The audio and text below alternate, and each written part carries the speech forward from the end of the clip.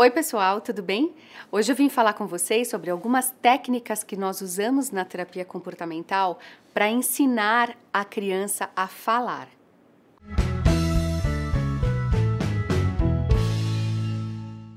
É critério diagnóstico para autismo dificuldade na comunicação social. O que, que significa isso? Significa que essa criança pode ter atraso na comunicação verbal e não verbal. Ela pode não falar e também ter atrasos em dificuldade para apontar uma criança que tende a usar os pais, usar os outros como ferramenta para conseguir o que quer, ao invés de usar a pessoa para intermediar, para se comunicar, para mostrar o que ela quer. Então, ao invés de olhar para a pessoa, olhar para o objeto que está fora do alcance e apontar o que ela quer, a criança pega a mão do adulto e tenta fazer com que ele pegue para ela. Isso a gente chama de usar como ferramenta. Ou a criança também elabora estratégias para conseguir resolver o problema dela sozinha.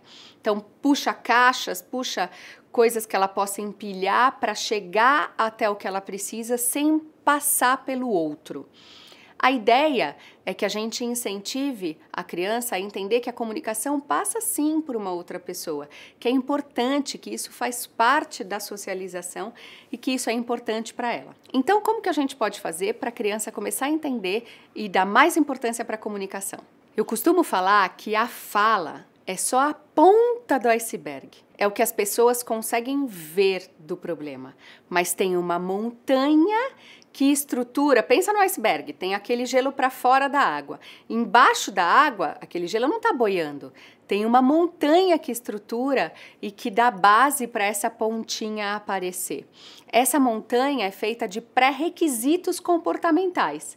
Então, primeira coisa que a criança faz é Alcance dirigido, ela tenta pegar alguma coisa com a mãozinha dela quando a gente oferece.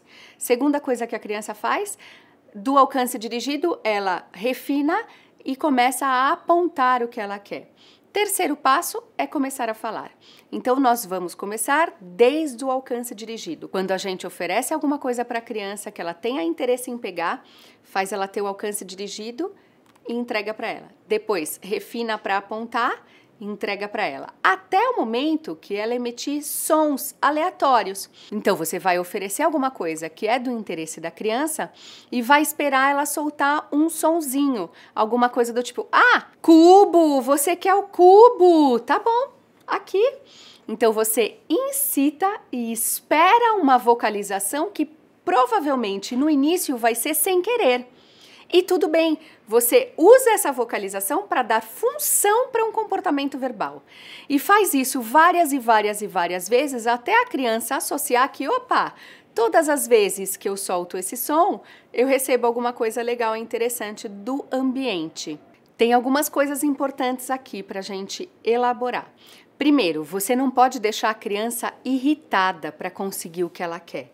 Você tenta incitar uma ou duas vezes. Se não sair um comportamento verbal espontâneo, um comportamento que você pode reforçar, entregando o objeto, você então pede para ela apontar. Então fala, então me mostra o que você quer. Pega a mãozinha da criança e faz o dedinho e entrega, porque você consegue dar ajuda sobre o comportamento motor, mas a gente não tem como ajudar ela a emitir um comportamento verbal. Não tem como a gente pegar na linguinha e fazer ela soltar um som. Então você usa o comportamento motor, porque a comunicação não verbal também é uma comunicação muito importante. Faz parte da base do iceberg que a gente conversou. Faz ela emitir um apontar e entrega para ela. É importante que todas as vezes que ela apontar ou que ela emitir um som qualquer, mesmo que aleatório, você repita a palavra dando o modelo correto, como se ela tivesse falado certo. Então, se ela quer pegar o cubo, é importante que você, quando ela solta um som, mesmo que de i, que não tem nada a ver com cubo, você entrega falando para ela a palavra certa: cubo, entendi. Você quer o cubo. É importante que você entregue falando para ela a palavra certa. Então, se ela faz um i, você fala cubo. Isso para todas as coisas que você tiver oportunidade de apresentar. Então, se ela quer pegar uma outra coisa, um outro brinquedo favorito, você pode fazer a mesma coisa e dar a resposta do que chama aquela coisa. Com o tempo, a criança vai perceber então que todas as vezes que ela emite um comportamento verbal, ela consegue alguma coisa legal. Neste momento, a gente pode começar a refinar o comportamento verbal a partir para novas etapas.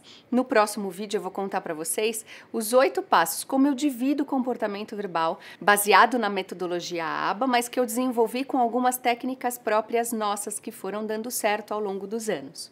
Mas você já pode começar se a sua criança já entende entende que ela precisa emitir um comportamento verbal. Você pode começar a refinar esse comportamento verbal. Então, se ela fala i, i, só que é cubo, você pode esperar ela variar e tentar um o, cubo, porque é mais próximo do som correto da palavra.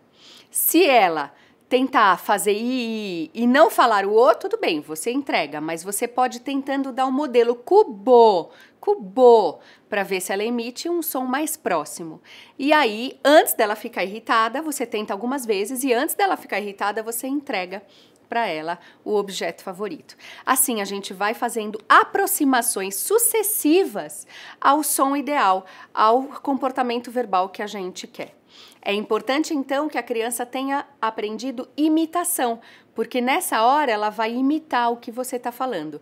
É importante aprender a imitação no motor primeiro, para depois transferir para a fala. Espero que essas dicas te ajudem, coloquem em prática e compartilhem para que outras pessoas tenham acesso a essas informações.